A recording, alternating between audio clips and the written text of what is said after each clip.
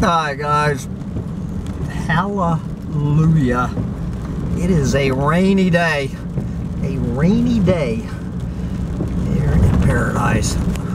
It is about goddamn time we get some rain here in the drought plagued Finger Lakes of New York here on this gloomy Monday, June 12th, 2023. So, uh, couple of things that I want to, uh, ran out. I guess I'll just make this two separate videos. So, uh, you know, I was up at my Amish friends. I am uh, killing another hemlock table. Uh, hemlock table. I'm killing another hemlock tree so I can make a new table for my uh, community kitchen at my vacation retreat center at Bugs in a Jar Farm. So anyway, I'm, I'm up there and uh, hanging out with the uh, with the 18 year old kid. Uh, he and I, it's just the two of us. So you know, Daddy and Mama aren't around, so it's just the two of us, and we're out there in the barn uh, measuring wood and all and figuring out uh, how to make this table. You, you know, and he's uh, and, and, and, he's got his gas powered uh, two gas powered chainsaws right there. Then of course the whole sawmill is uh, run by fossil fuels. I mean, uh, I've counted at least three tractors that they have forklifts, a giant propane tank, on and on and on. So they run a, an organic farm, is what it's called. They have a big sign anyway that they're an organic farm and they have more fossil fuels on that farm than if probably pretty much if you added up my entire life uh, for 63 years uh, that one family of Amish people, uh, you know, going through uh, all of those fossil fuels. And then, of course, they have not one but two buggies, you know, the black horse drawn carriages. There they have a carriage barn, uh, which all it does is, is store their uh, carriages that whenever they want to, you know, like go anywhere. Uh, they hook up their horses to this carriage and they go trotting off to wherever Amish people go, trotting off to in their in their carriages, you know, leaving uh, all of their fossil fueled uh, organic farm uh, behind. And they also travel very frequently. They go back and forth to Ohio. I know that they're not uh, taking a horse and buggy to Ohio because they will leave on Friday and they'll come back on Monday. That's where they are this weekend. Uh, that's why we had to get this order in. So they're on their way back from Ohio, I'm assuming not in a horse drawn carriage. So finally, you know, I, I didn't want to embarrass uh, the, the whole family or put any ideas in the little kids' uh, heads, but you know, so it was just me and him. And, and, and I said, brother, I, I, said, I am not judging, I, I am not uh, making fun of anybody here. I said, I am simply curious what the hell is going on here? And, and he goes, uh, you know, so what do you mean? And I, and I said, well, brother, I, I said, look around us at all of these fossil fuels. Uh, I said, my God, how many, uh, you know, they have a big old, like 200 gallon diesel tank uh, right next to their propane tank. Uh, I said, I've never seen so many fossil fuels in one place in my life. And he looks at me with this like like this confused expression on his face, and he goes, "Well," he goes, "It takes a lot of fossil fuels to run a farm." which is the identical quote that his uh, kid brother told me last year. It takes a lot of fossil fuels to run a farm. And I said, I am not uh, questioning that. Uh, I said, I realize uh, that you would not have this sawmill if it weren't for these fossil fuels. I said, but the question I have, I said, you obviously, I said, I said, I want to make it clear for the record that it, that at least you and I assume other Amish people that you know because I know two other Amish uh, families that also use fossil fuels. I, I, I, said, I just want to get it clear for the record. And I said, do the Amish have some sort of uh, religious, moral uh, problem with fossil fuels? And, and, he looked at me, you know, and, and said, no, uh, we have no problem with fossil fuels. And I also might add, though, not necessarily with this family, I know uh, that there's plenty of Amish people who, who lease their land out to frackers, the Amish in Pennsylvania.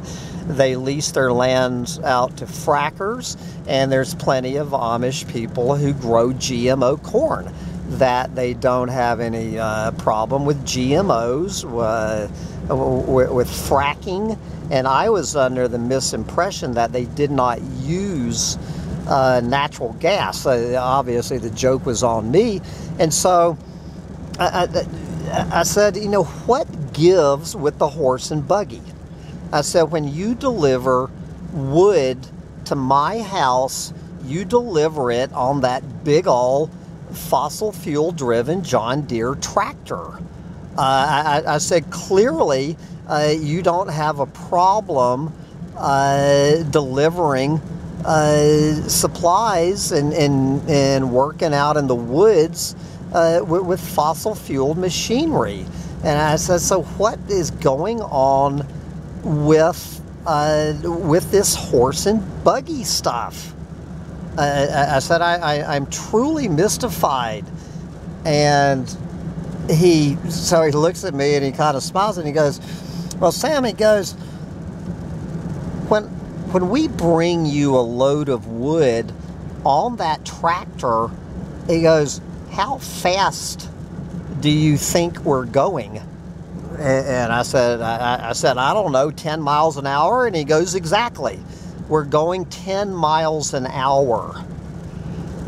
And uh, I said, okay.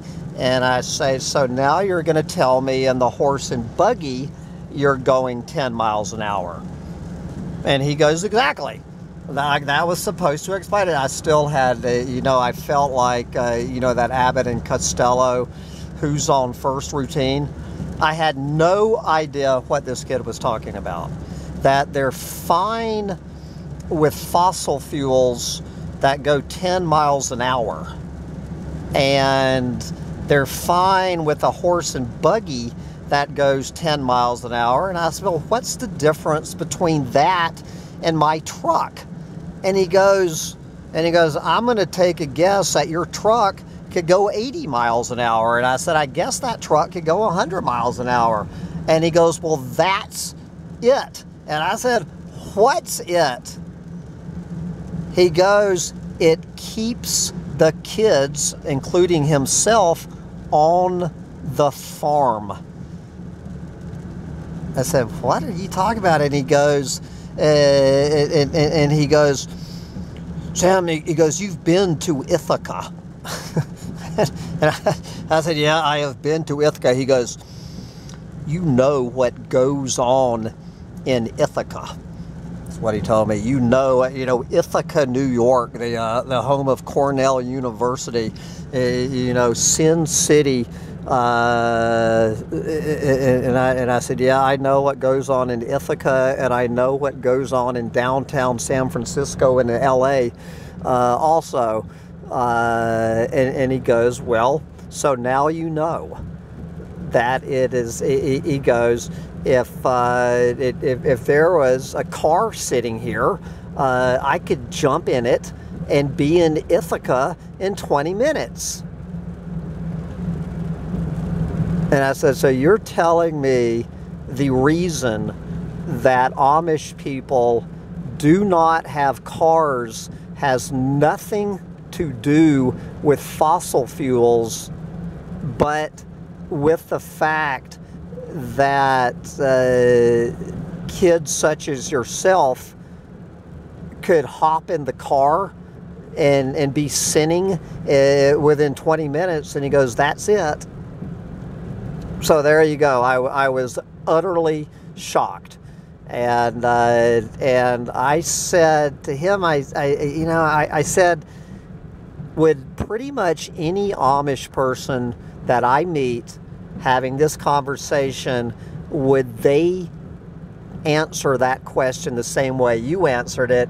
And he goes, You got to understand, he, he says there's 15 different varieties of Amish people. I guess they're depending on how conservative they are. And uh, he goes, Now, my family, we're at the very conservative end.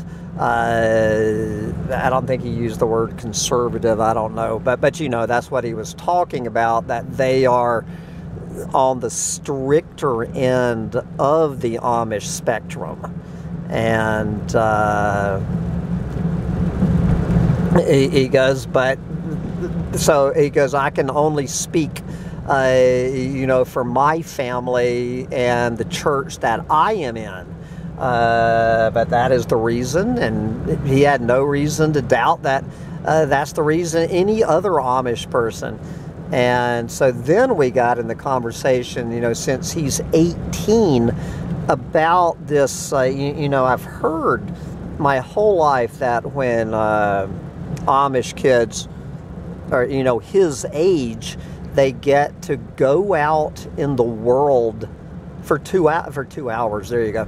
For two years, they get to clock out of the church and go and just uh, sample what life is like outside of the Amish community. And then uh, I think it's two years. And then at the end of that time, they can decide whether they want to return back to the bosom of the Amish, uh, of the Amish church and Amish community, or whether they just want to say no, thank you. I'm going to stick with all the sin and and global industrial civilization and the internet porno and uh, being able to have sex and uh, drink and smoke weed and, and, all of the things that normal uh, that that any 18 year old would enjoy doing. And uh, so again, he goes, well, that gets back to this 15 uh, different brands of Amish people. Uh, he goes, some of them uh, on the looser end, you know, of the spectrum. Uh, that's true for them. He goes, but absolutely not for you know, from my family that, you know, he's uh, 18 years old. Uh, he goes, if I make the decision to walk off of this farm and move to Ithaca and, and uh, you, you, know, do what they do, I guess, in Ithaca, he goes, I won't be coming back. That it'll be a one way trip. And, uh, I said, well, does that ever, does that decision ever weigh on you? And he assured me it did not, that uh, he had no intention whatsoever of leaving. And uh, so I said, so you're, uh, I, I, so you're planning to get married at some point? And he goes, yeah, I can get married when I'm 19. So I'm just in a few months that you know that that he's going to live in his in his house right up to his wedding day. Of course, be a virgin uh, on his wedding night, and uh, and then he's going to get married, and they're going to do whatever I, I don't know what two 19 year old Amish people would do in this kind of real estate market. He didn't seem like he'd really thought through with that. So uh, I, I, he's a real good looking, very good looking, smart young man. I, I mean, I said, Well, do you have any contenders? And, and he goes, I have nobody to uh, that I'm looking at. And I said, Well, I, I said, I know the feeling. I said, I thought a good looking, smart young man such as I, I said, I thought you would have a line of these uh, Amish girls just waiting around for you to hit 19. And he laughed and uh, said, uh, Well, show me some because I don't see any. And uh, that was that. So, that is the great mystery of why Amish people, uh, at least that family, uh, do not drive cars. It has nothing to do with fossil fuels, it has to do with sin. Sex in the City is what it's all about. Keeping the kids on the farm and away from us normal naked apes with our uh, chimpanzee bonobo instincts. And uh, I will uh, come back and uh, tell you uh, at some point I'll tell you about my latest Airbnb guest from Israel who has been here the past two nights. Uh, he was quite the character, so I will uh, share that story. Another rant, another day. Right now, it is time to go do my laundry on this rainy day. Uh, this is the first time I have washed clothes. Second sheet washing, first time I have washed my clothes since leaving Sandy's house a month ago. Get out there and enjoy your washer and dryer while you still can on this rainy day in the end times. Guys.